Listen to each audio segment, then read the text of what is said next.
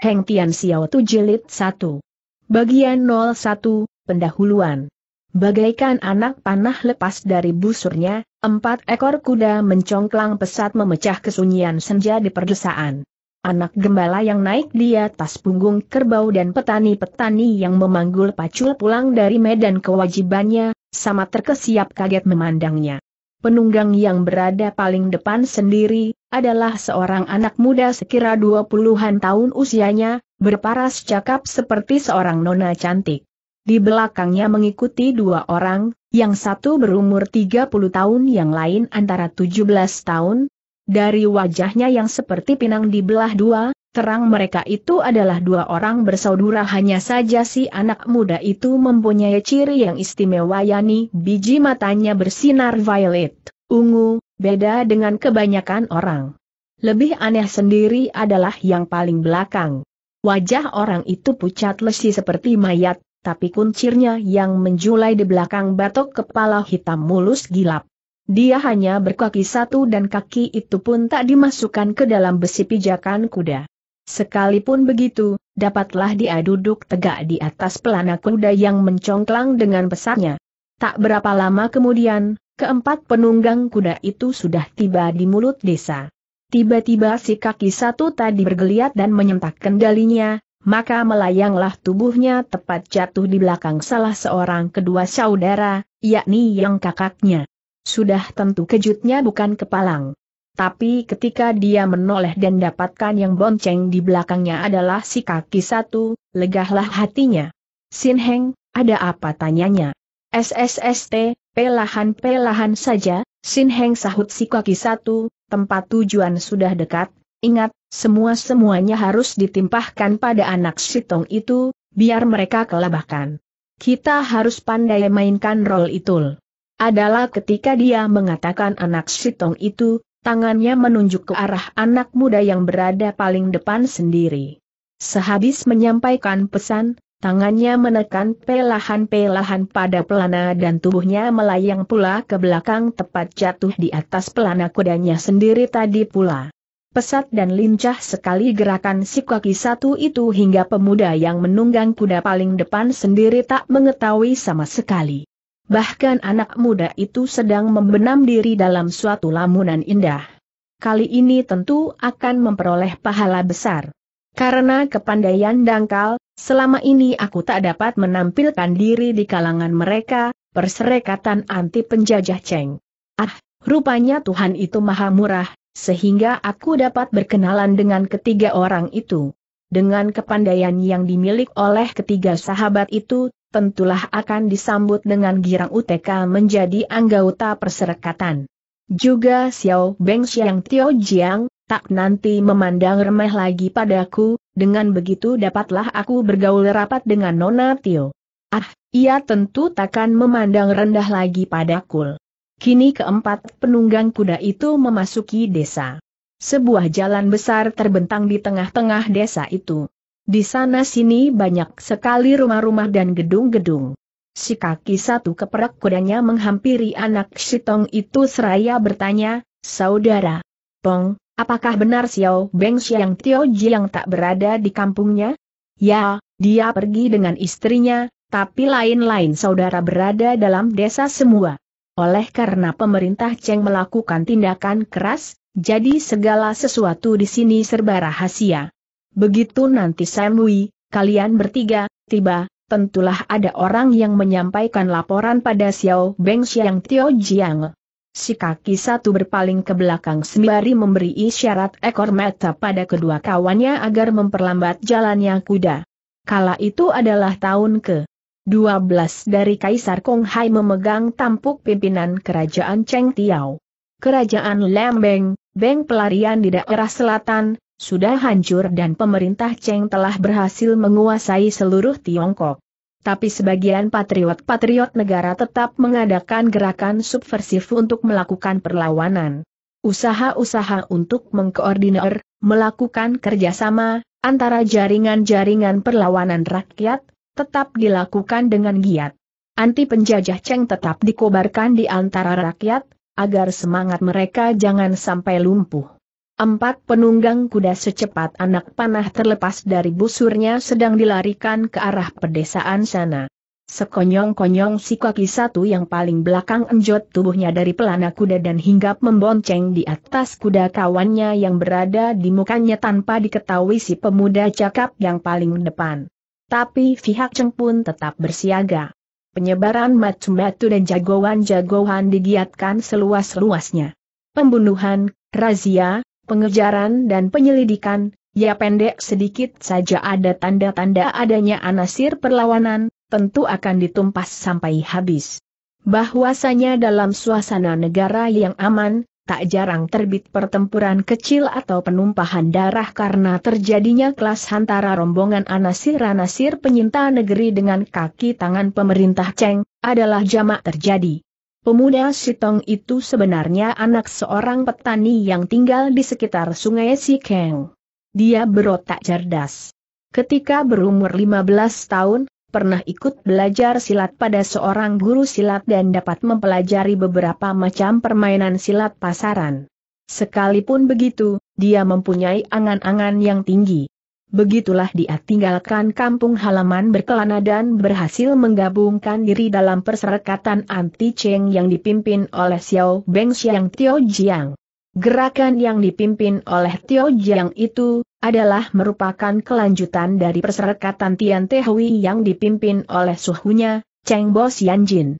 Tian Tehui mengalami kegagalan total, organisasinya porak-poranda, tokoh-tokohnya banyak yang bubar menyembunyikan diri dari kejaran pemerintah Cheng. Syukur tokoh-tokoh inti gerakan itu seperti Kui Chu, Taisan Sinto Iliok, N.I.O. Kongin, Cheng Bo, Kang Xiang Yan, Tio Jiang, Yan Chiu DKK masih tetap bersatu. Walaupun secara bersembunyi-sembunyi, mereka dapat menghimpun kekuatan dan ternyata pengaruh mereka terasa sekali di daerah Kuitang. Bagian 02, keganasan kuku Garuda. 20 tahun lamanya, hanya kulit tubuh mereka yang berkerinyut dan rambut bertabur uban, namun semangat perjuangan mereka masih tetap segar bernyala-nyala laksana api abadi yang tak kunjung padam. Banyak nian perubahan-perubahan selama itu. Tio Ji yang telah menjadi suami istri dengan Yan Chiu dan dikaruniai dengan tiga orang anak, dua lelaki satu perempuan. Pusat gerakan mereka terletak di perkampungan rakyat di kaki Gunung Lohausan, sedang puncak Giok Linia merupakan markas agungnya. Sejak Cheng Yang Jin tinggalkan pimpinan untuk belajar ke luar negeri mencari bantuan, maka atas persetujuan orang banyak, Tio Jianglah yang diserahi menjadi pimpinan dibantu oleh para Chiang Po sebagai pini sepuh, ketua, yang menjadi penasehat dan pelindung. Dari seorang pemuda, Kini Tio Jiang telah menjadi seorang ayah dari seorang anak yang berumur dua puluhan tahun. Karena sifat-sifat jujur dan ksatria dia telah dijuluki sebagai Xiao Beng Xiang atau Beng Xiang Kun kecil, Beng Xiang Kun adalah seorang tokoh yang jujur dan bijaksana. Modal Tio Jiang selain ilmu silat, terutama kejujurannya yang sangat menampil. Walaupun pemuda Tongko masuk menjadi anggota perserikatan, tapi karena kepandaiannya dangkal dan belum memperoleh suatu pahala apa-apa, jadi selama ini belumlah dia dapat menampilkan diri. Kini dengan mengajak tiga orang kenalan. Baru yang berilmu tinggi itu, besar harapannya dia akan mencapai yang diidam-idamkan itu. Tak antara berapa lama, Tongko menunjuk pada tiga buah perumahan rakyat. Sin Eng Hyong, itulah tempat kediaman Xiao Beng Xiang Tio Ji yang sekeluarga serunya memberitahu kepada si kaki satu sembari turun dari kudanya. Memang di depan pintu rumah itu tampak ada seorang nona remaja berumur tahun 2016-an tengah bicara dan tertawa-tertawa dengan seorang anak lelaki kecil berumur 6 atau 7 tahun tapi anehnya begitu melihat Tongko datang, nona itu malah miringkan kepalanya pura-pura tak melihat. Nona Tio, apakah Nio Toa Cecu ada tanya Tongko? Tiba-tiba belum lagi si Nona menyahut, si kaki satu sudah merebut berseru-seru keras-keras, saudara. Tong, besar jasamu membawa kami kemari. Habis mulutnya bersuara, tangannya bekerja, seret, seret, seret, belasan bunga api meletik di udara menabur ke arah si Nona dan si bocah kecil. Gerakan itu di luar dugaan orang dan dilakukan begitu cepat sekali sehingga Tong Kotak keburu membuka mulut. Carol menimpukannya pun keliwat ganas sekali. Sin Heng. Tanda petik. Hanya dua patah kata Tongko sempat meneriakan, tapi syukurlah nona itu pun sudah keburu terkejut. Secepat kilat ia tarik si anak kecil terus dibawanya loncat ke atas sampai dua meteran. Plak, plak, plak, Taburan benda bergemerlap yang bukan lain adalah 13 batang huitu, pasir pilau, lama menancap di dinding tembok rumah. Saudara, Tong, mengapa tak lekas turun tangan seru si kaki satu kepada Tongko sembari susulilasi dengan 13 batang huitu. Kala itu Sin Ona bersama adiknya tengah mengapung di udara. Gerak timpukan si kaki satu tadi sangatlah keras dan cepatnya hingga sampai menerbitkan suara aman bergemuruh. Saking takutnya menjeritlah anak kecil itu menangis keras-keras. Tongko buru-buru hendak gunakan cambuk untuk menghadang Witu-Witu itu, namun sudah tak keburu lagi. Yang terdengar hanyalah jerit dan teriakan ngeri dari Sinona dan adiknya, disusul dengan gedebak-gedebuk, dari tubuh mereka menggelepar di tanah. Tubuh anak kecil Ik tak berdosa apa-apa itu telah ditabur dengan enam atau tujuh batang itu, sehingga seketika itu juga putuslah nyawanya. Syukur Sinona hanya kena terpanggang sebatang pada bahunya. Dengan tangkasnya, ia segera memondong Seng adik dibawa lari masuk ke dalam rumah sembari berteriak-teriak, Paman Nio.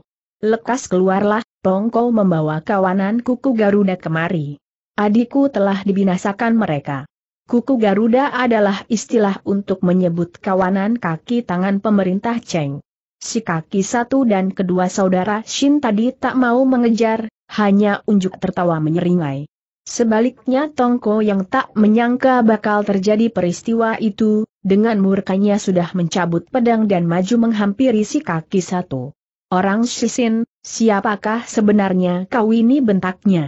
Si kaki satu yang masih bercokol di atas pelana kudanya, segera membungkuk ke bawah sembari ulurkan. Dua buah jari tangannya untuk menyepit ujung pedang tongko. Sekali sentak, tangan tongko lemah lunglai mengucurkan darah dan tahu-tahu tahu pedangnya sudah direbut si kaki satu. Tuan Mu besar ini digelari orang Tok Kakon Mosin Tok. Dan kedua sahabat ini adalah persaudaraan Sin, So Hun yang Shin Leng Xiao dan Cecing Long Shin Hiat Ji sahut si kaki satu dengan tertawa sinis.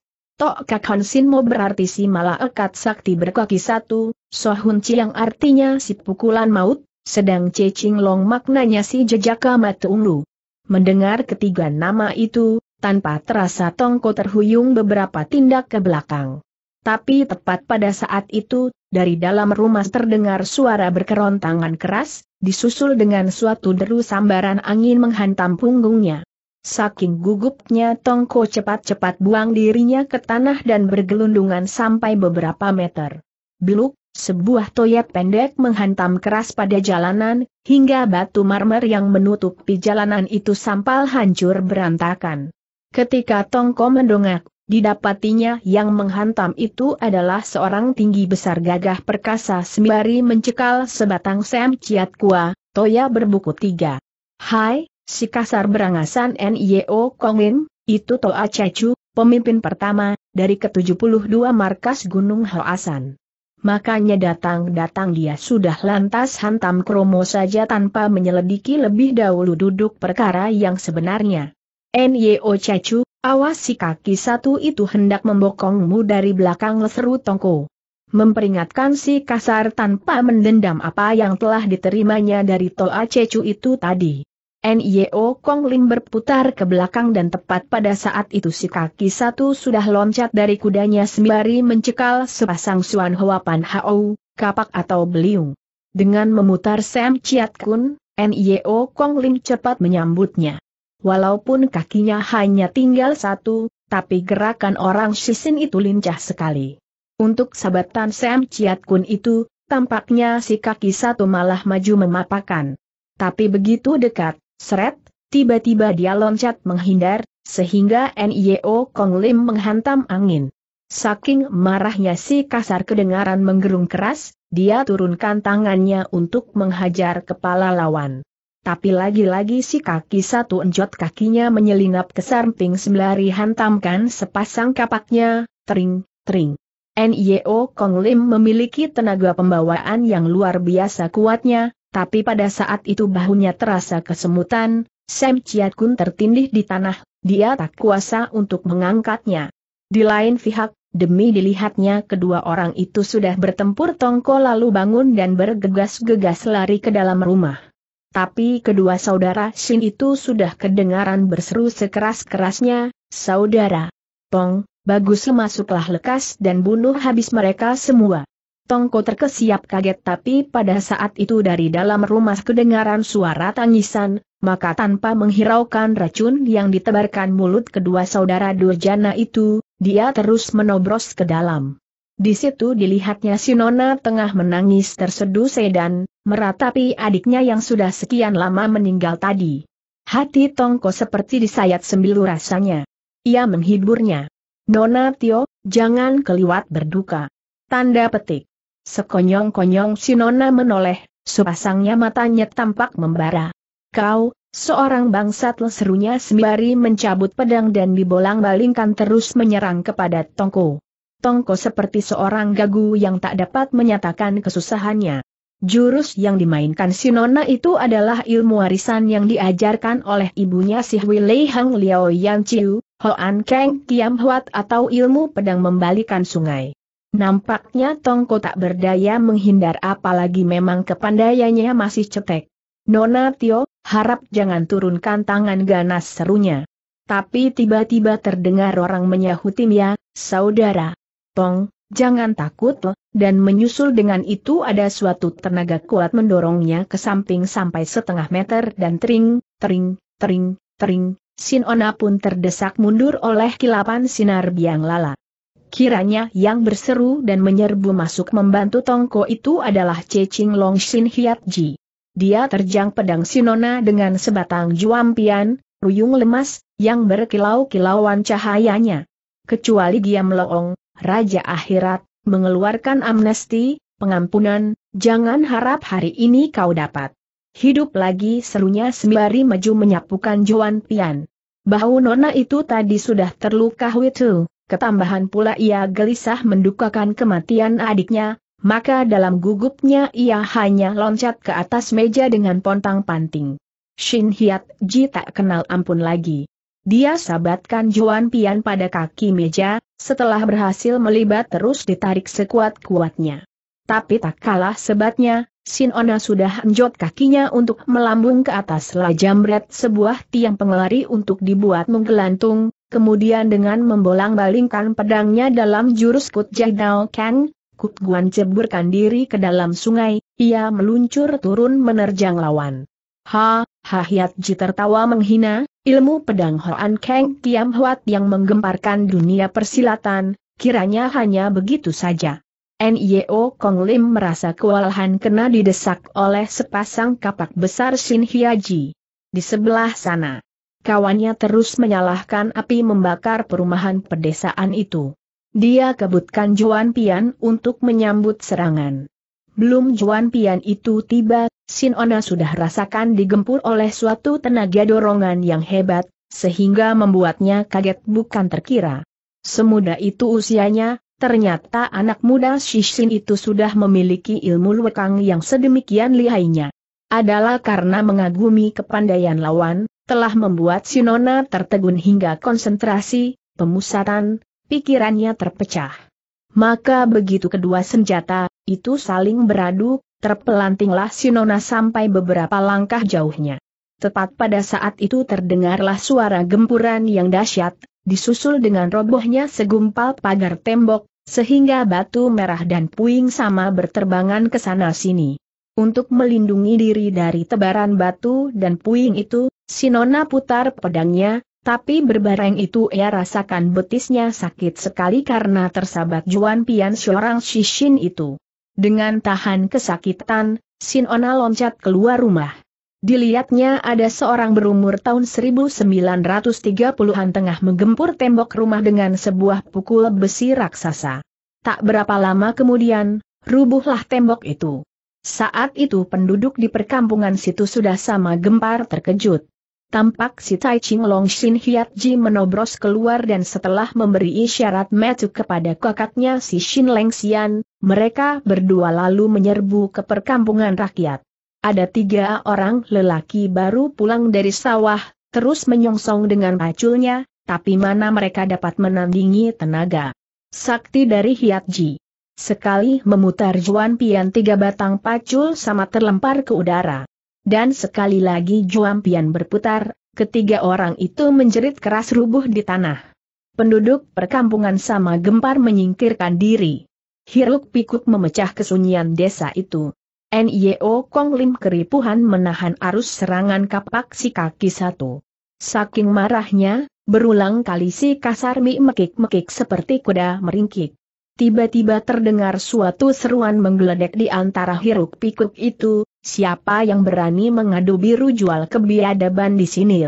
Suara hiruk pikuk kepanikan itu sangatlah riuh rendahnya, tapi suara orang itu melengking keras seolah dapat mengatasi kehirukan itu, menandakan bahwa orang itu tentu mempunyai luakang yang cukup lihai. Kedua saudara Sin itu pun menoleh DGN terperanjat. Seorang lelaki setengah tua yang mukanya garang berlari mendatangi dengan mencekal sebatang juan pian. Apakah yang datang ini Kiao Tu, Jiahko dari Tian Tehui tegur Hiat Ji. Tak salahlah, sahut orang itu agak keheranan. Shin Hiat Ji tertawa memanjang. Sambutlah pianku ini serunya. Kini baru Kiao Chu mengetahui bahwa anak muda yang belum cukup 20 tahun usianya, hidung tinggi dahi lebar dan berwajah luar biasa itu, adalah musuh. Segera dia pun sambut serangan orang dengan liokin pian huat, ilmu ruyung ajaran gurunya, Cai Xiang Su dari gereja Liok Yang Si di Kuiciu. Ruyung lawan ruyung, wah, ramainya bukan buatan. Melihat tiada lain tokoh keras lagi, diam-diam Sohun Chiang Shin Leng Xian girang sekali. Dia yakin rencananya kali ini tentu akan berhasil. Dia ambilnya korek geretan api, dengan dua tiga kali loncat, dia menghampiri tumpukan kayu lalu menyulutnya. Kala itu adalah permulaan musim dingin, angin keras benda-benda kering merinting. Maka sekejap saja, asap bergulung-gulung membubung tinggi, api membubung dengan besarnya. Untuk mengipasinya, Shin Leng Xiao mainkan pukul besinya, hingga menerbitkan angin menderu-deru, meniup gelagah rumput berhamburan ke mana-mana. Perumahan rakyat yang terbuat dari atap, cepat dijilat api rumah-rumah yang terletak di tepi jalan sudah sama terbakar. Berbondong-bondonglah rakyat pedesaan situ, tua muda laki perempuan lari berserabutan macam gabah di tampi. Jerit pekik memekakkan telinga. Saudara, Pong, Tugas kita sudah berhasil bagus, ayo kita pergi tiba-tiba Sin Leng Xiao berseru lantang-lantang. Tok Kak Sin Mo Sim Tok dan Cecing Long Sin Hiat Ji menangkap pertandaan itu. Setelah mendesak lawan, mereka lalu angkat kaki, tapi Nio Kong Lim tak mau lepaskan pengacau itu. Tokak Sinmo atau si IIS Sakti berkaki satu sekonyong-konyong loncat setombak tingginya, dari situ dia berjumpalitan berdiri di belakang Nio Kong Lim.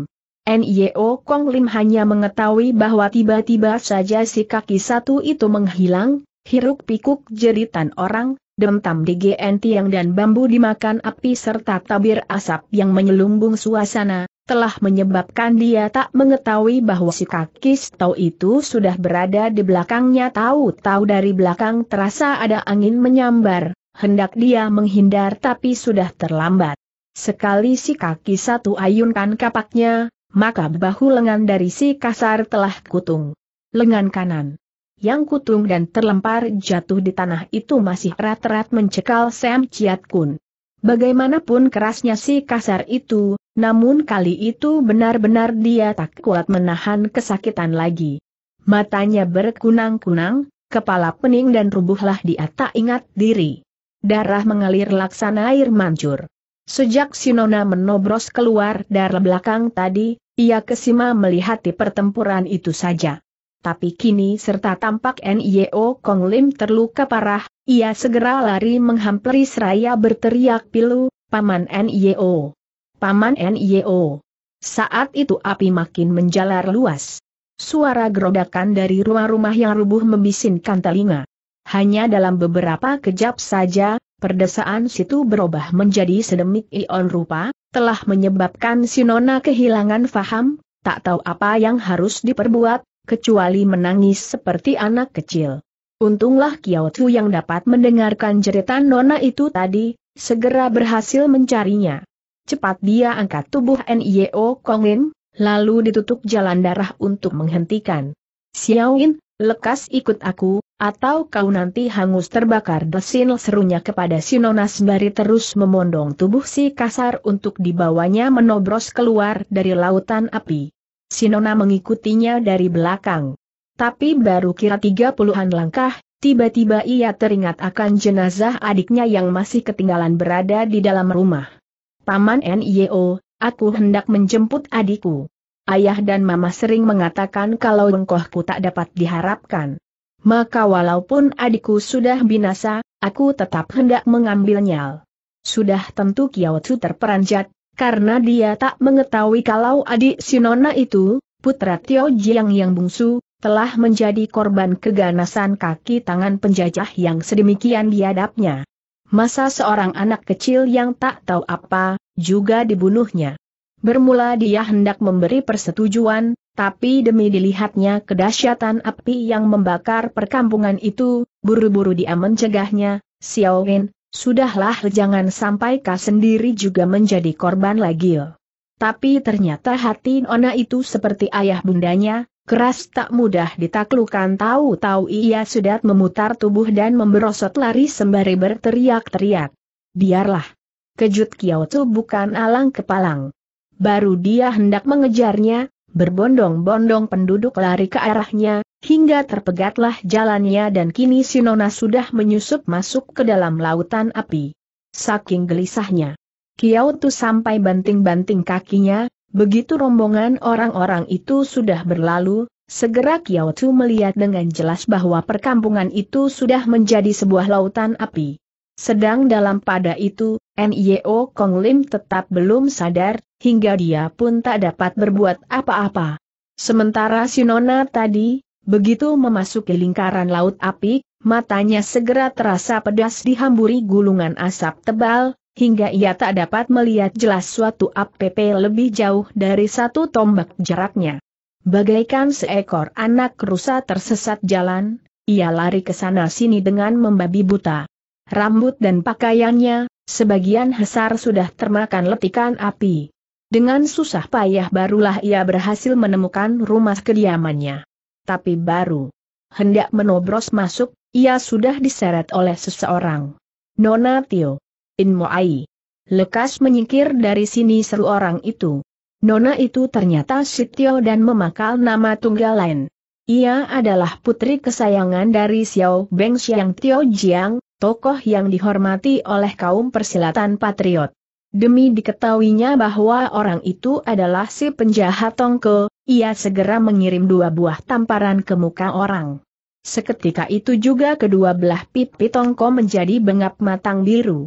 Tapi dari mundur, sebaliknya anak muda itu malah mendekap tubuh Sinona untuk dibawanya lari.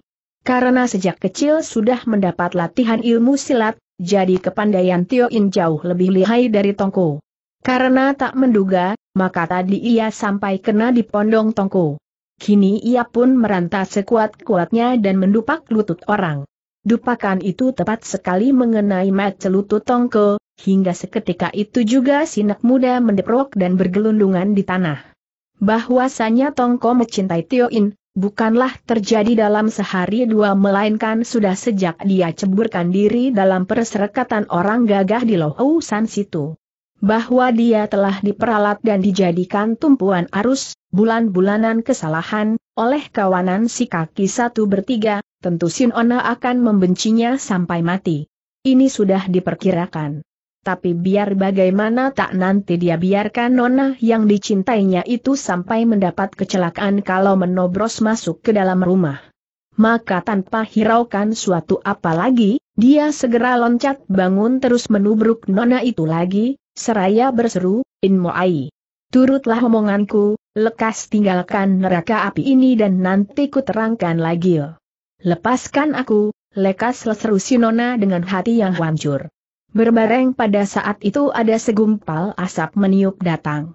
Hati Tio In direndam oleh kedukaan dan kemarahan. Betapapun lihai kepandaiannya, namun ia itu tetap seorang dara. Saking tak kuat menahan rangsangan hawa luapan hatinya, ia jatuh pingsan. Sebaliknya demi merasa nona itu tak meronta lagi, Pongko segera memanggulnya untuk mencari jalan lolos. Suatu perjalanan yang tak mudah bagi Tongko yang dalam beberapa saat saja sudah menanggung penderitaan batin dan badan yang begitu hebat. Dengan badan luka-luka dan gosong-gosong terbakar, tenggorokan kering dan mulut membara, akhirnya dapatlah dia membawa Tio In keluar dari kepungan api. Berjalan sampai setengah li jauhnya, dia berhenti sejenak untuk menengok ke belakang. Dilihatnya perdesaan itu masih tetap terbakar di mana nyala api sampai membuat langit merah marong. Tongko terlongong-longong sampai beberapa saat. Benar malapetaka itu ditimbulkan oleh keganasan ketiga kaki tangan pemerintah Cheng, tapi karena ketiga durjana itu timpahkan kesalahan pada dirinya, tentulah rakyat perdesaan situ akan membuat perhitungan padanya. Tak terasa, dia menghela napas dalam-dalam. Setelah tersadar dari lamunannya, dia pondong Tio In menuju ke sebuah sungai kecil. Bagian 03, mati kegirangan. Kala itu hari sudah gelap. Rembulan mulai muncul dari ufuk timur. Setelah minum dua teguk air, Tongko menampungkan tangan, mengambil air untuk disiramkan ke tubuh Tio In. Tak berapa lama kemudian, Sinona mulai syuman. Tapi begitu didapatinya Tongko berada di sampingnya, dengan gemasnya ia mengirim sebuah jotosan, beluk, terjerembablah Tongko jatuh ke belakang. Bangsat macam kau ini. Sekalian saudara sama mengira bahwa walaupun kepandaianmu cetek, tapi kelakuanmu jujur. Malah ayah pun mengandung maksud hendak mengambil murid padamu. Huh, siapa tahukah seorang manusia yang berhati serigala, bersekongkol dengan kawanan kuku Garuda, membunuh orang membakar desa sehabis memaki itu, air mata. Sinona bercucuran. Tongko coba berusaha untuk menggeliat bangun, tapi karena luka-lukanya yang diderita tadi sedemikian rupa, dia tak dapat berdiri. Dengan merayap dihampirinya Tio In, lalu dengan menengadahkan muka, dia meratap, Nona Tio, bunuhlah aku, tak nanti aku penasaran. Tapi ku minta janganlah kau mencap diriku sebagai manusia berhati serigala. Sekali-kali aku bukan orang macam begitu. Luka yang diderita Tio In pun tak ringan. Dengan kerahkan semangat, ia coba loncat bangun, tapi kepalanya serasa berat dan terhuyung-huyung pula lah ia jatuh ke tanah, namun mulutnya masih penasaran dan menghamburkan makian sepuas-puasnya, manusia berhati. Serigala. Manusia berhati serigala. Manusia berhati serigala. Pedih Tongko Sukar dilukiskan dengan kuatkan diri dia merayap maju dua tindak, lalu ulurkan tangan untuk mencapai bahu Tio In, tapi nona itu dengan gusarnya menerkam tangan Tongko lalu dipelintir dengan gerak Toa Chuan Lun, roda berputar. Gerak ini menurutkan ilmu mematahkan tulang yang disebut Hun Kin Jokut, mengalihkan urat nadi melepas persambungan tulang. Krek, tulang persambungan lengan kanan Tongko menjadi lepas, kesel buru-buru Tongko menariknya keras-keras dan dapatlah dia memulihkan persambungan itu lagi. Namun sakitnya bukan olah, hingga sampai kucurkan keringat dingin. In Muai, kau tak kenal pribadiku, Tongko menghela napas. Huh, setan lanat. Siapa yang sudi berbahasa koko Muai Muai DGN kau masih Tio In belum mereda murkanya. Serentak bangun, ia menendang Tongko hingga sampai hampir jatuh ke dalam sungai. Untunglah anak muda itu cepat-cepat dapat berkutik lagi. Hanya dilihatnya Tio In dengan langkah tak tetap tinggalkan tempat itu, hal mana membuatnya gelisah. Kira-kira satu jam lamanya. Tongko rendam separuh tubuhnya bagian bawah di dalam air. Air dingin yang merangsang ke arah tulang belulang, telah membuat semangatnya agak segar. Dia lalu hendak merayap naik, tapi sekonyong-konyong dari kejauhan kedengaran derap kaki. Kuda mendatangi. Kuda itu ternyata berhenti di situ juga. Dia melongok dari sela-sela gelagah dan didapatinya ada tiga ekor penunggang kuda tengah menghampiri ke tepi anak sungai. Dan untuk kekagetannya, ternyata ketiga orang itu adalah tiga durjana yang mencelakai dirinya, yakni Tokak Sinmo Sintok, murid tunggal dari Raja Iblis suku Biao yang bergelar Ban Bok Sin Bu atau Dukun Sakti Selaksamata. Sedang yang dua, adalah Shin Leng Xiao dan Shin Hiat Ji kakak beradik. Buru-buru Tongko menahan napas tak berani berkutik. Begitu tiba di tepi sungai, ketiga durjana itu segera turun dari kudanya dan biarkan binatang mereka minum air. Ketika Tongko mengintip dari sela gelagah, dilihatnya Cek Ching Long Shin Hiat Ji memanggul sebuah karung kain yang besar. Karung itu kini diletakkan di tanah dan kebetulan sekali hanya terpisah setengah meter dari Tongko. Dengan hati-hati sekali, Tongko ulurkan jarinya untuk menyentuh dan dapatkan isi karung itu amat lunak tapi entah benda apa. Shin Heng, budak ini adalah putri kesayangan dari Xiao Beng Xiang Tio Jiang. Kalau kita bawa ke utara, Xiao Beng Xiang tentu akan menyusulnya. Gerombolan mereka itu memang sangat mengganggu keamanan Kuitang. Dengan adanya tindakan kita ini, mereka tentu akan marah seperti orang kebakaran jenggot. Apabila kita dapat menjaringnya, tentu mudah untuk membasmi seluruhnya. Ha, ha tiba-tiba kedengaran si kaki satu tertawa bangga. Kesemuanya itu karena mengandal kecerdasan Sin Heng, sahut Shin Leng Xiao. Bagaimana terperanjatnya Tongke, dapat dibayangkan. Kiranya Tio In tadi telah berpapasan DGN ketiga Durjana itu dan dapat diringkusnya. Jadi yang berada di dalam karung itu, tentulah Sinona. Saking sibuknya, Tongko bergetar. Walaupun hanya sedikit, tapi karena terendam dalam air, maka terdengarlah riak air bergelombang buru-buru dia berdiam diri lagi. Hai, mengapa air beriak? Jangan angan ada orang bersembunyi. Hiat Ji, si anak mata ungu segera berseru. Xiao Xin, kau ini bagaimana, kan kuda kita tengah minum air, mana ada setan belang lagi si kaki satu menertawai legalah hati Tongko, dan ketiga orang itu pun tertawa geli sendiri. Berkata Hiat Ji, kali ini Xiao Beng yang tentu akan timpakan kemarahannya kepada Tongko semua. Ah, kasihan Xiao Beng yang itu, mimpi pun tentu tidak dia, kalau yang mencelakainya itu adalah puteranya sendiri. Tongko terbelalak kaget, hendak dia mendengari lagi cerita Hiat Ji lebih lanjut, tapi anak itu ternyata sudah alihkan pembicaraannya diam-diam Tongko merenung. Xiao Beng Xiang Tio Jiang hanya mempunyai dua orang anak lelaki. Yang bungsu sudah dibinasakan dengan 13 itu oleh si kaki satu Sintok. Putra sulung yang bernama Tio Taikeng, umurnya sebaya dengan dia, Tongko, tapi rupanya telah mendapat warisan pelajaran dari ayahnya. Sebulan yang lalu, pemuda itu sudah diutus ayahnya pergi ke wilayah Hunlam UTK mengadakan hubungan kerjasama DGN para tokoh persilatan di sana. Jadi mustahil kalau bersekongkel dengan rombongan si kaki satu itu. Diam-diam Tongko mendengarkan percakapan ketiga jagoan kaki tangan pemerintah Cheng itu sambil pelahan-lahan menyeret karung besar yang terapung di atas air sungai itu ke dekatnya. Tapi mengapa mulut Hiat Ji menyebut hal itu? Hati Tongkok penuh dengan tanda tanya. Sebaiknya kita berangkat sekarang saja, kembali kedengaran Shin Leng Xiao berkata, budak itu berat juga lukanya, apalagi telah ditutup jalan darahnya oleh Sing Heng. Lekas kita Karl tempat yang sesuai untuk mengobatinya. Untuk memancing ikan besar, haruslah umpannya yang bagus juga. Mereka bertiga terbahak-bahak dan kedengaranlah suara rumput tersingkap karena Hiat Ji hendak mengambil karungnya lagi.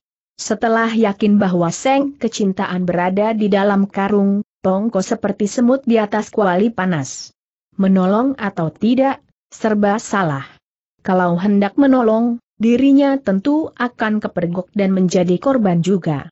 Namun kalau berpeluk tangan, hatinya tak sampai, hanya dia tak mempunyai banyak waktu untuk menimbang lagi, karena derap kaki Hiat Ji makin mendekati. Ah, biar bagaimana juga andai kata dia bakal binasa di tangan ketiga Durjana itu, tetap dia harus menolong Tiorin. Soalnya bukan semet-semet karena diri Sinona seorang, melainkan ekses, kelanjutan, dari peristiwa itu. Xiao Beng Xiang Tio yang tentu akan menyusul ke kota raja. Di sana dia bakal tergencet oleh kawanan jagoan-jagoan pemerintah Cheng yang besar jumlahnya. Apabila sampai Tio Jiang celaka, itu berarti suatu kerugian besar dalam kubu-kubu gerakan menentang penjajah Cheng di daerah Kuitang. Siapa tahu perserikatan itu mungkin berantakan nantinya. Jadi mengapa dia, Tongko, begitu sayang akan jiwanya, demi UTK kepentingan gerakan yang mulia itu? Dilihatnya sungai itu meskipun dangkal, tapi arusnya cukup deras. Secepat dia memperoleh akal, secepat itu pula loncat ke atas untuk menyeret karung itu ke dalam air lalu didorongnya supaya dibawa arus. Ketika Hiatji berjongkok hendak mengambil karung, ternyata karung itu sudah tiada di situ. Dan selagi dia masih terlongong-longong, tahu-tahu Tongko sudah menyergapnya. Umur Hiatji itu sebenarnya masih muda belia sekali. Tapi karena sewaktu masih bayi, dia digondol oleh seekor induk harimau dan dibesarkan oleh induk harimau itu dengan darah binatang, maka tenaganya luar biasa kuatnya. Baru ketika dia berumur tahun 2010-an tahun, dia telah dapat ditolong oleh Shin Leng Xiao, engkohnya. Sejak itu dia berguru pada Gan Li dari Tong Tingou, yakni seorang tokoh nomor satu dari dunia persilatan daerah Opak. Jadi ilmu kepandaiannya jauh lebih lihai dari kakaknya Leng Xiao. Jadi serbuan Tongko itu sebenarnya seperti anai-anai masuk ke dalam api. Namun karena Hiatji itu keliwat berhati-hati, jadi dia tak mau melihat dulu siapa penyerangnya itu, tapi sudah cepat-cepat menghindar ke samping sembari balas menghantam. Tongko seketika menjadi seperti sebuah layang-layang putus tali, gentayangan jatuh menggelepar. Juga si kaki satu yang cepat mengetahui adanya suasana yang mencurigakan itu segera loncat menghampiri. Demi tubuh Tong. Ko melayang di udara karena dihantam hiat ji tadi, si kaki satu pun cepat memungut sebuah batu kecil lalu ditimpukan. Bluk. Jatuhlah tongko tadi. Si kaki satu enjot tubuhnya loncat memburu. Sekali ulurkan tangan, dia sudah dapat meringkus tongko. Keduanya kini sama meluncur jatuh ke dalam air. Tapi ternyata si kaki satu memiliki kepandalan yang luar biasa. Baru menyentuh air, dia sudah enjot kakinya melompat ke atas daratan. Kemudian dia yang enjot lagi kakinya melompati anak sungai selebar dua tombak itu, lalu letakkan tubuh Tongko ke tanah. Ho, kiranya saudara kami Tongko serunya menyeringai. Tepat pada saat itu, demi melihat si kaki satu sudah turun tangan menghajar si penyerang gelap, Hiat Ji pun segera apungkan tubuhnya di permukaan air sembari kait karung besar itu dengan ujung juan piannya. Memang senjatanya itu luar biasa, dapat dijulur surutkan sekehendak hatinya, ujungnya runcing macam kait. Sin Heng, Siapa dia serunya bertanya. Siapa lagi kalau bukan saudara? Tongko. Biarkan saja dia nanti melapor pada Xiao Beng Xiang, benar tidak sahut si kaki satu. Sekonyong-konyong ada seorang wanita berseru, Ai, mengapa ada orang menyebut-nyebut namamu? Entahlah, orang gagah dari mana yang kebetulan lewat di sini sahut seorang lelaki yang rupanya menjadi kawan perjalanan wanita tadi. Walaupun mereka berdua hanya bercakap-cakap seenaknya saja sebagai selingan perjalanan, namun bagi pendengaran seorang akli tentu mengetahui bahwa keduanya itu memiliki ilmu lekang yang tinggi. Orangnya masih jauh, tapi suaranya melengking nyaring sekali. Si kaki satu segera memberi isyarat agar Hiatji membawa karungnya lagi naik ke atas kuda. Sekejap lagi terdengarlah derap kaki kuda mencongklang keras-keras. Si kaki satu berada di belakang kedua kawannya, begitu diketahui ada dua sosok bayangan keluar dari hutan, dia segera taburkan 13 huitu. Kemudian dengan bersuit nyaring, dia menerjang maju. Xiao Beng Xiang, kalau hendak mengambil anakmu perempuan, datanglah ke kota raja minta pada Tai Wei Kochin, jago-jago di dalam keraton serunya lantang-lantang semilari conglankan kudanya kaburkan diri di antara kepulan debu. Memang kedua orang yang baru keluar dari dalam hutan itu, bukan lain adalah Xiao Beng Xiang Tio Jiang dan istrinya Hui Lei Hang Yan Chiu. Mereka baru datang dari lain tempat dan belum mengetahui bencana yang telah menimpa keluarganya. Tiba di situ didengarnya ada orang menyebut-nyebut nama Xiao Beng Xiang, dikiranya. Kalau ada sementara orang gagah yang hendak datang berkunjung ke tempat kediamannya. Siapa tahu, mereka diserang dengan hujan huitu dan ditantang datang ke kota raja. Meskipun kini sudah menjadi seorang ibu yang berumur setengah tua, namun perangaian Chu masih seperti ketika gadisnya. Dengan sebat ia cabut pedangnya terus diputar dalam jurus Kang Simpohlo. Tering, tering, tering, ketiga belas batang huitu itu terpukul jatuh semua. Ayuh, siapa yang mau cari nyonyahmu besar ini serunya. Tapi pada lain saat ia geli sendiri atas ucapannya itu. Yan Chiu, Tadi kita lihat langit perdesaan kita marong membara, orang-orang tadi itu terang adalah kawanan kuku Garuda. Jangan angan Xiaowin dan saudara-saudara di rumah, mengalami apa-apa ini kata Tio Jiang. Mas saya? Bantah Seng istri seraya ayunkan langkah ke muka. Tapi sekonyong-konyong terdengar ada orang berteriak-teriak, lekas, lekas. Yan Chiu berpaling dan dapatkan yang berteriak itu tongko adanya. Memang sebelum si kaki satu berlalu, lebih dulu dibukanya jalan darah Tongko. Tapi karena segala sesuatu tadi berjalan dalam beberapa kejap saja, jadi anak muda itu bingung terlongong-longong tak mengerti apa yang telah terjadi. Baru lewat beberapa saat kemudian, dia dapat berteriak tadi. Hai, bukankah kau ini si Tongko tegur Yan Chiu? Namun Tongko tak menyahut pertanyaan orang, melainkan angkat tangannya menuding ke muka, lekas, lekas. Nona Tio telah dibawa mereka. Nona yang mana tanya Yan Chin dengan tertawa. Kiranya baik Tio. Jiang maupun Yan Chiu sudah tahu kalau anak muda itu ngesir, ada hati, pada putrinya. Mereka menduga tentulah pemuda itu habis bertengkar dengan Tio In, sehingga kini dia menjadi kebuakan begitu, macam, maka Yan Chiu pun tak begitu kaget mendengar keterangan Tongko tadi. Nona ini ditawan dan diculik kuku Garuda saking jengkelnya Tongko sampai banting-banting kaki. Kebenaran saat itu Tio Jiang pun sudah datang dan menanyainya, mana bisa begitu, ke mana saja Nio dan Kyoto aku? Entahlah, Nona ini diculik kuku Garuda, Xiao Seng dibunuh merekal. Melihat anak muda itu bermandikan noda darah, pakaian compang-camping rambut kusut masai dan bicaranya begitu gugup, Tio Jiang mulai curiga dan buru-buru menegas, apakah kebakaran itu berasal dari perkampungan kita? Mengapa kawanan kuku Garuda mengetahui tempat kediaman kita? Tongko tundukkan kepala dan menyahut DGN sejujurnya, akulah yang membawanya. Penyahutan itu telah membuat Tio Jiang dan Yan Chen terkesiap kaget. Bahwa putranya bungsu telah binasa, telah membuat hati Yan Chiu seperti disayat sembilu, serentak ia menghardik Tongke, siapakah di antara saudara-saudara yang menyakiti hatimu hingga kau membalas? Dendam membawa kuku Garuda untuk mencelakai rumah tanggaku? Malah habis menghardik, Yan Chiu sudah lantas sayunkan pedang Kuan Wikiam untuk menabas kepala si anak muda. Tongko meramkan mata menanti ajal. Bukannya takut, dia malah mengharap supaya Yan Chiu cepat membunuhnya agar dengan demikian suami istri lekas-lekas bertindak menyusul Tio Tin. Terang, tiba-tiba terdengar berkerontangan suara senjata beradu, disusul dengan seruan Yan Chiu, Jiang Ke, kau ini bagaimana?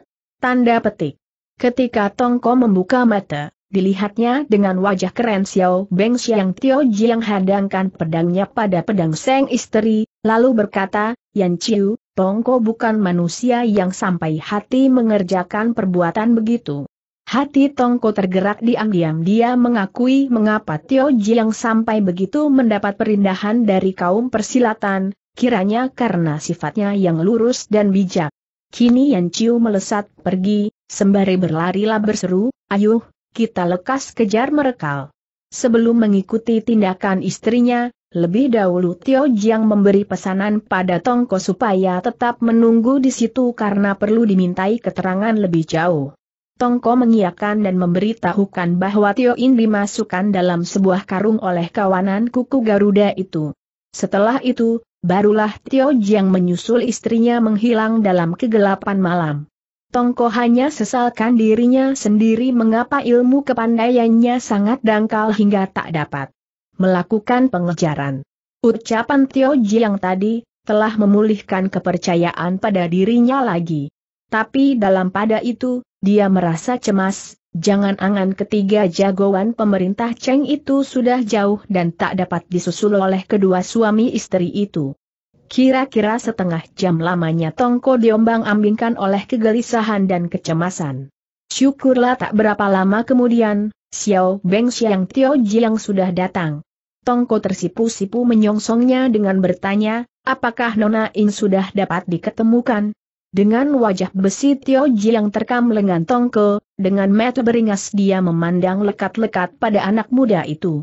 Sejak kecil mula tingkah laku Tio Ji yang selalu polos jujur sesuai dengan apa yang diadiarkan oleh suhunya, Cheng Bo Xiong Jin. Maka ketika dalam pertengahan umur, dia memiliki wajah yang mengunjuk perbawa. Kalau benar-benar Tongko itu seorang ik berhati culas, dipandang begitu rupa oleh seorang tokoh macam Tio Jiang, dia pasti akan pucat dan hatinya kebat-kebit. Tapi oleh karena Tongko berhati bersih, bukannya takut dia malah balas menatap. Tukar pandangan itu berlangsung sampai beberapa kejap, baru sejenak kemudian Tio Jiang membuka mulut, Tongko tadi kau mengatakan bahwa yang membawa Tokak Sinmo Sintok bertiga adalah kau, benarkah itu? Oleh karena merasa bahwa selama ini tak pernah berbuat jahat, maka pikiran Tongko hanya pada Tio In seorang saja. Bukannya menyahut, dia bahkan balas bertanya, apakah Nona In sudah tersusul? Tio Jiang menggeram, serunya, ketiga durjana itu sudah lari. Xiao In pun sudah ikut mamahnya kembali ke Geoklinia, sekalian orang gagah dari berbagai daerah pun juga sudah berkumpul di sana. Tongko, ketika kau hendak masuk ke dalam perserikatan kami, ada orang yang mengatakan bahwa parasmu keliwat cakap tentu tak boleh dipercaya tapi kuanggap karena kau benar-benar seorang manusia yang ingin berbakti kepada negara, maka kululuskan kau kucurkan darahmu selaku masuk perserikatan.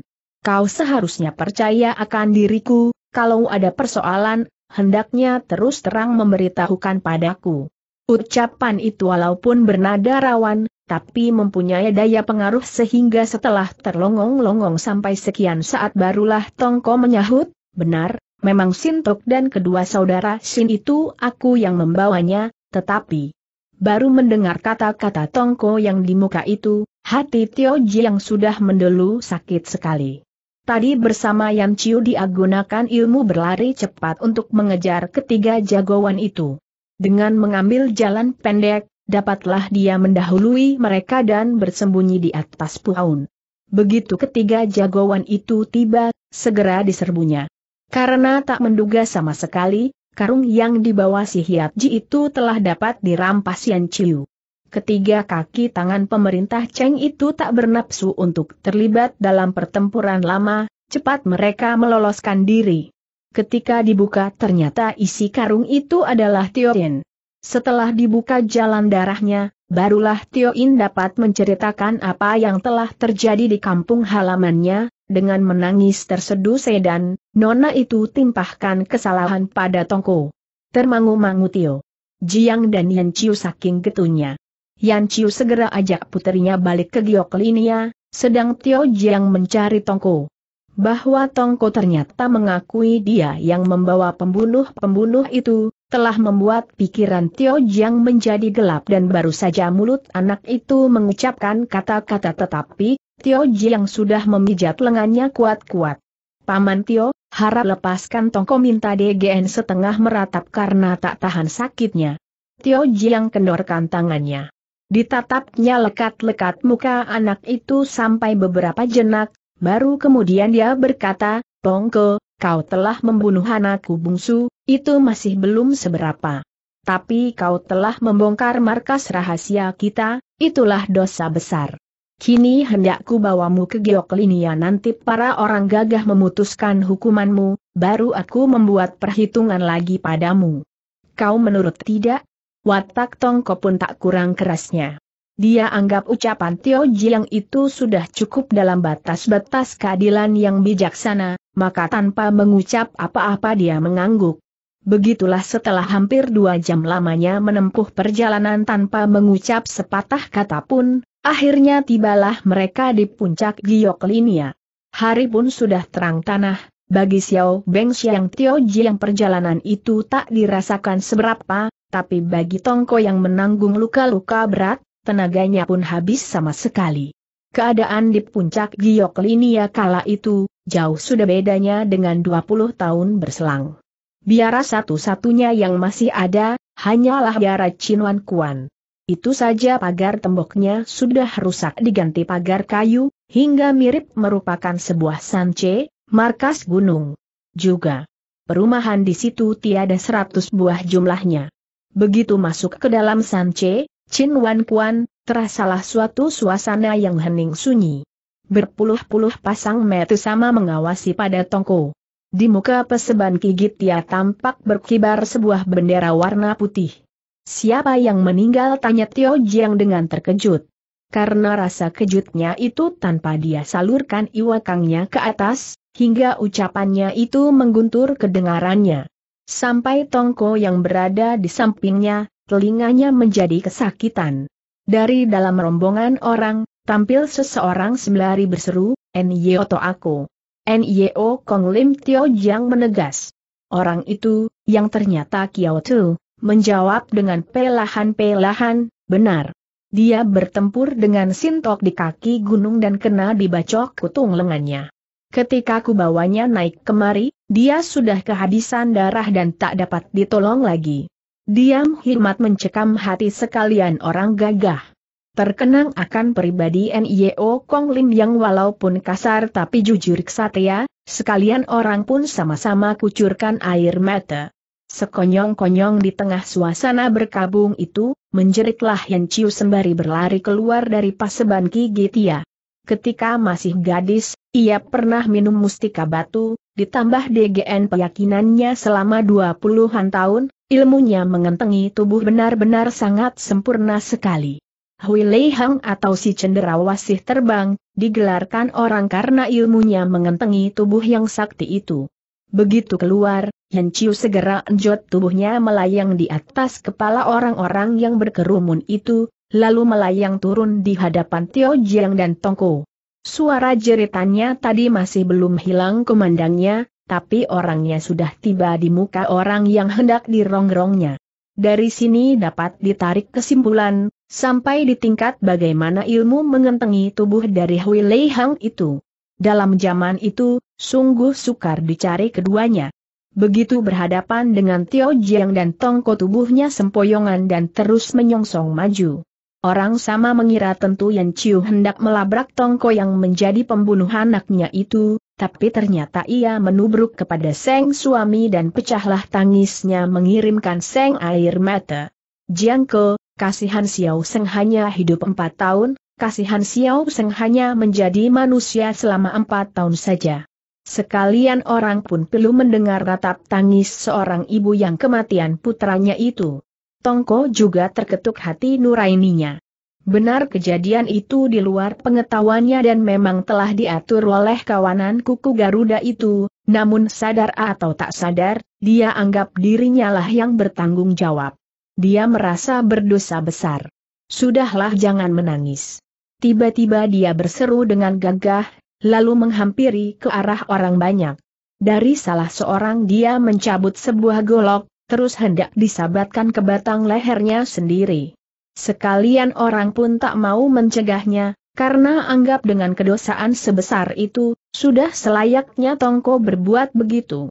Tapi ketika matu golok menempel pada kulit lehernya, Sekonyong-konyong dari peseban gigi Tia terdengar seseorang berseru mencegahnya, tahan dan berbareng itu terdengarlah sebuah benda mengaum di udara dan, terang, golok di tangan Tongko itu bukan melainkan terlepas, pun kutung menjadi dua dan terlempar di udara.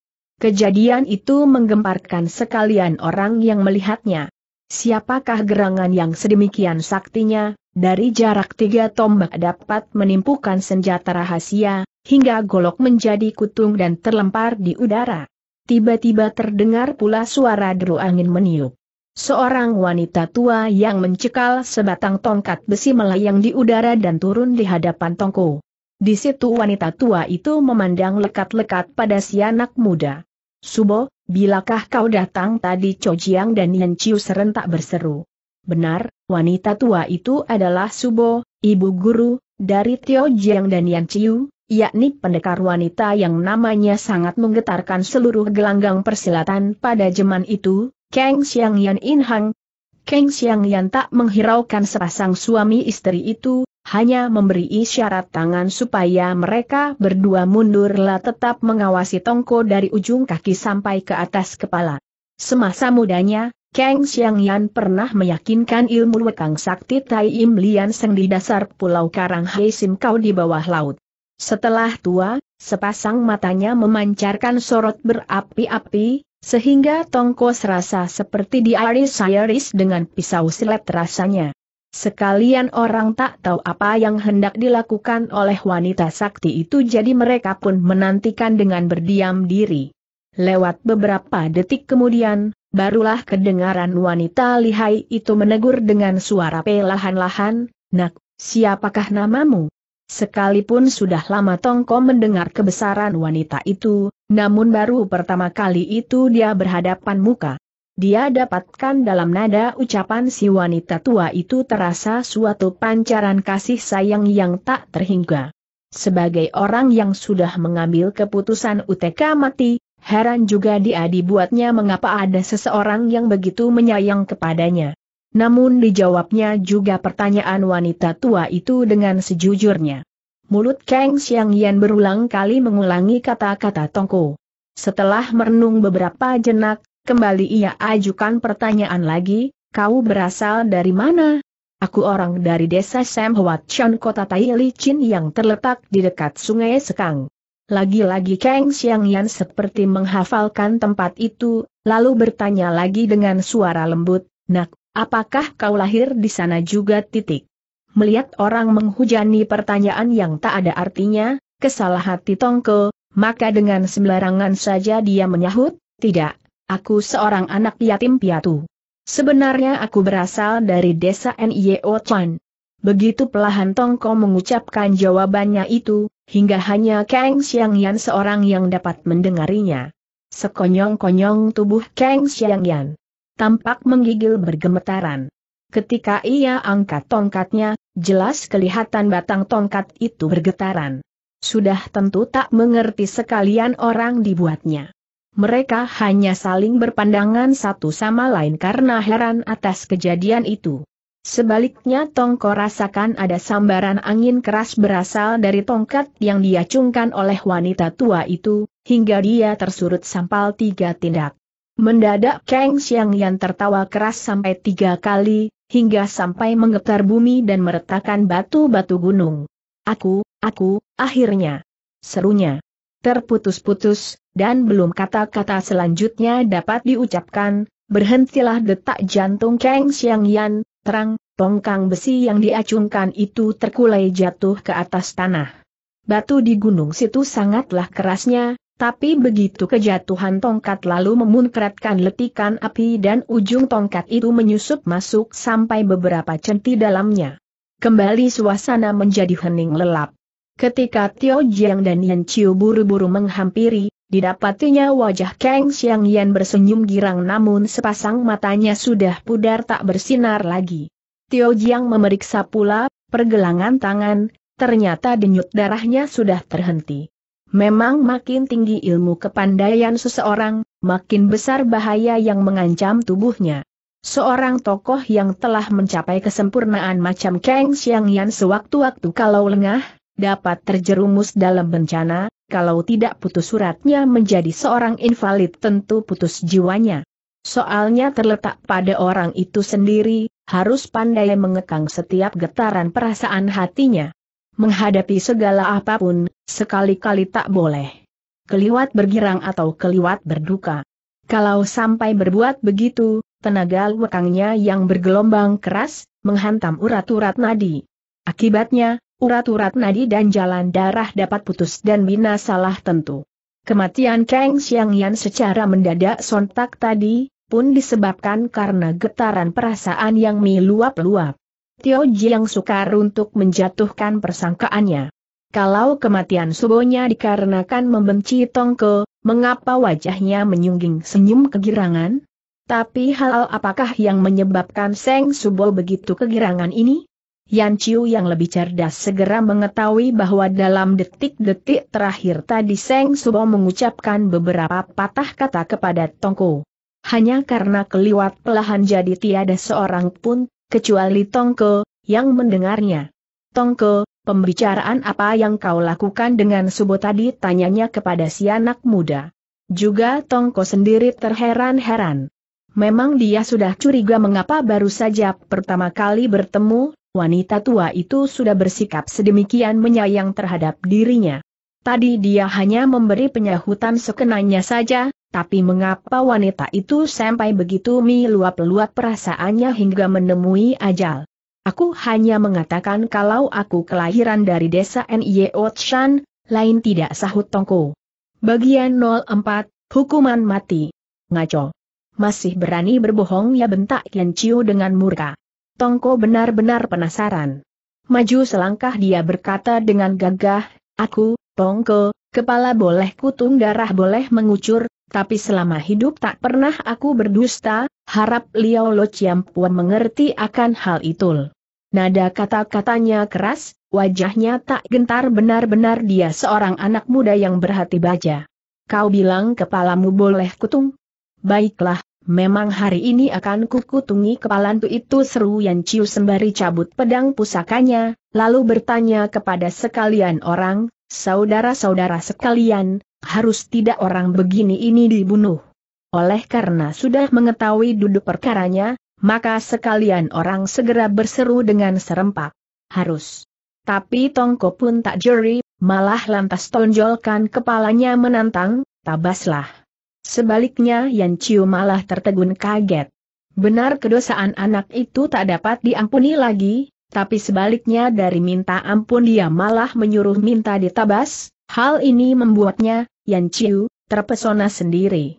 Adalah Tio Jiang yang mengerti isi hati Seng istri segera berkata kepada Tongke, Tongke, meskipun dosamu itu pantas dihukum mati, tapi mengingat selama ini kau pun kecil-kecil juga mempunyai jasa kepada perserikatan, maka ku beri keringanan supaya kau habisi jiwamu sendiri dengan loncat turun dari puncak gunung.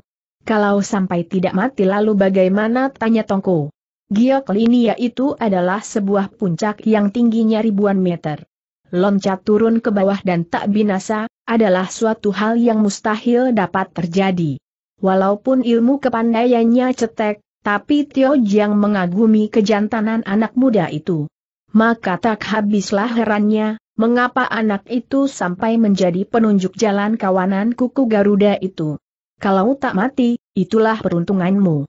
Ku harap selanjutnya kau dapat berubah menjadi orang baik sahut Tia Jiang.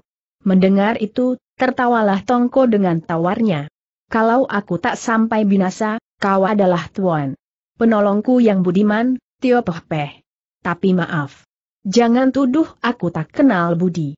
Hinaan yang dilemparkan istrimu kepadaku di depan sekian banyak orang tadi, kelak aku pasti akan menuntut balas.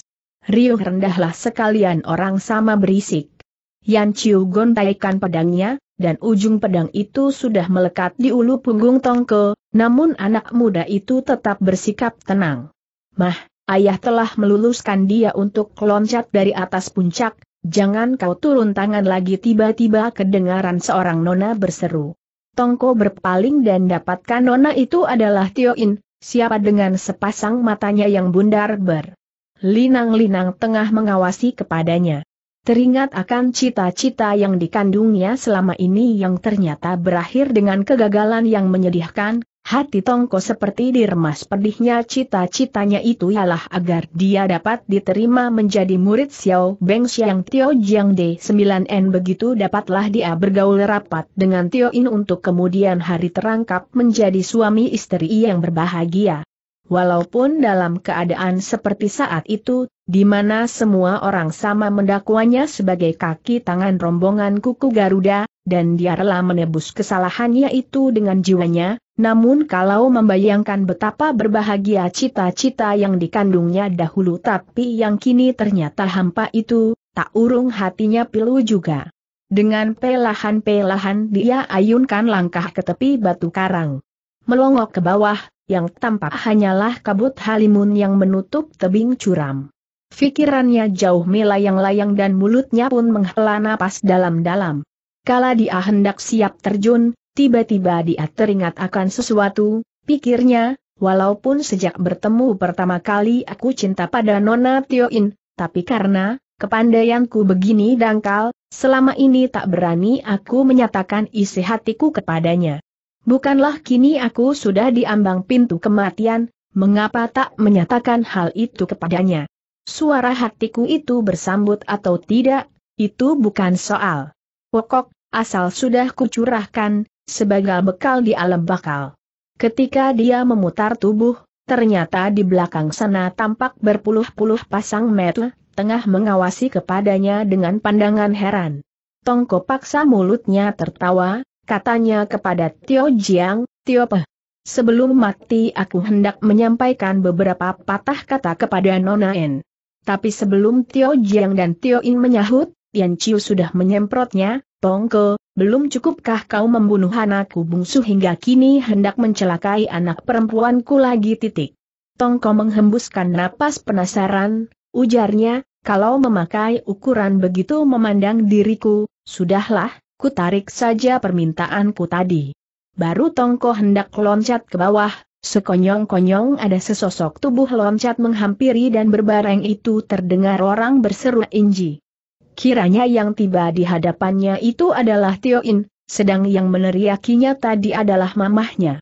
Dengan sepasang metu yang bundar berlinang, Nona itu menatap ke arah Tongko seraya berkata dengan suara berbisik, kalau adikku tak sampai mengalami nasib begitu mengenaskan, mamah tentu takkan bersikap begitu kepadamu. Kau hendak mengatakan apa, lekaslah nyatakan. Bahwa di antara sekian banyak orang yang sudah membencinya, masih ada seorang Tioin yang tetap memperhatikannya, telah membuat hati Tongkot terhibur sekali.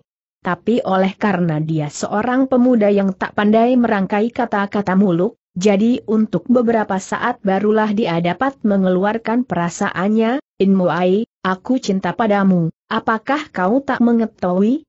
Mulut Sin Ona berat untuk menyahut, melainkan sepasang matanya yang berkecupan dan kepalanya mengangguk, lalu loncat ke belakang lagi. Ah, kiranya ia juga suka padaku. Tapi apa gunanya, sudah kasih kata Tongko di dalam hati. Oleh karena tampaknya dia berayal-ayalan tak mau loncat turun ke jurang, setengah orang pang beradat keras segera memakinya, Hai, binatang cilik, masih sayang pada jiwamu ya. Berbareng itu Tongko rasakan punggungnya dingin. Ha, Kiranya pedang pusaka Kuan Wikiam milik Yan Chiu sudah dilekatkan pada ulu punggungnya itu. Tongko masih sempat melirik pada Tio In yang menelungkupi sebuah batu, kedua bahu bergetaran karena tangisnya mengisak-isak tubuh. Cepat dia dorongkan tangan ke belakang untuk menghalau pedang Yan Chiu, serunya, aku dapat loncat sendiri, tak usah didorong lagi.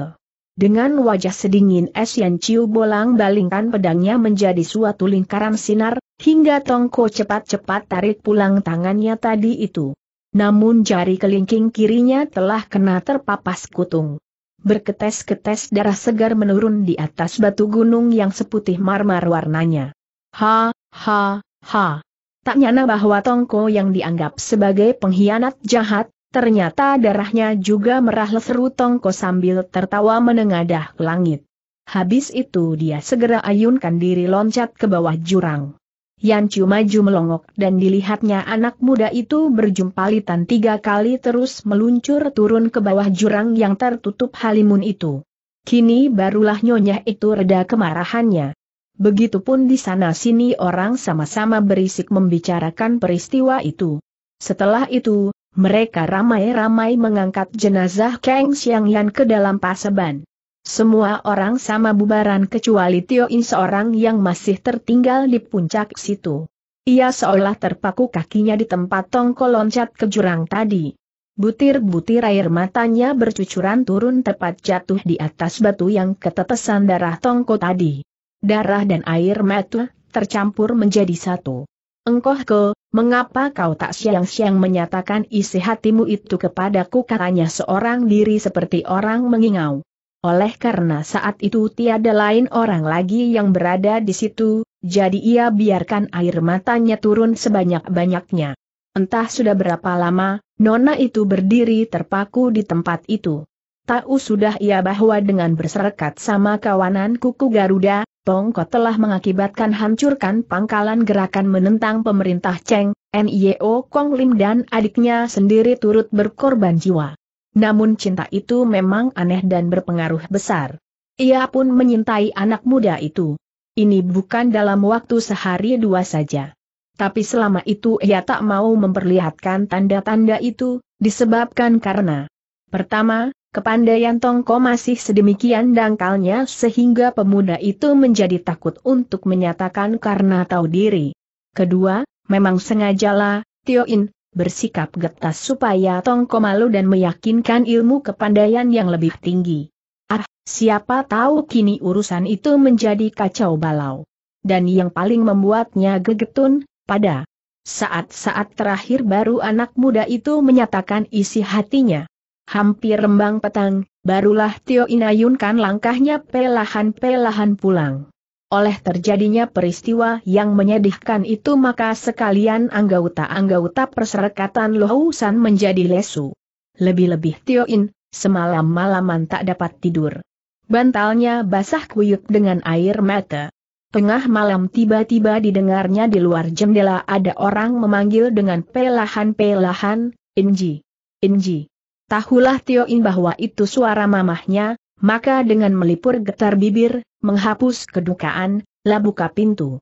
Dan memang yang muncul itu adalah Yan Chiu. Inji, sebelum meninggal apa yang Tongko katakan padamu tanya Yan Chiu dengan muka berseri senyum. Sebagai dimanjakan, pecahlah tangis Tio In, ia merangkul dada mamahnya seraya menjerit, Mah, sebagai wanita yang sudah banyak makan asam garam, Sepatah itu saja sudah cukup bagi Yan Chiu untuk mengetahui keadaan Seng Putri. Di belai-belainya rambut anaknya itu, lalu berkata dengan menghela napas, Inji, jangankan dia sudah hinasa, andai kata masih hidup pun, rasanya tak layak kaserahkan hatimu pada pemuda macam begitu. Entahlah, mah sahut Tio In tengadahkan kepala. Ah, karena ayahmu dan aku terlalu memanjakan hingga kau sampai tak dapat mengetahui kejahatan di dunia ini. Sudahlah, nak, tidur sana kembal Yan Chiu menghela napas lalu tinggalkan ruangan itu. Tio In terbenam dalam kehampaan lagi. Tiba-tiba terkilas dayam pikirannya. Ah, apa yang mamah katakan itu memang benar. Terhadap perbuatan semacam itu, bagaimana aku dapat mencintainya? Tapi karena kini dia sudah meninggal, karena toh sudah tak dapat berbuat kejahatan lagi, mengapa aku tak meninjau keadaannya? Tio In berbangkit menghampiri pintu. Pada lain kilas, pikirannya membayangkan bagaimana keadaan tubuh Tongko yang pasti akan hancur lebur mayatnya. Tak terasa ia menjadi ngeri. Akhirnya ia mengambil putusan untuk turun gunung menengoknya.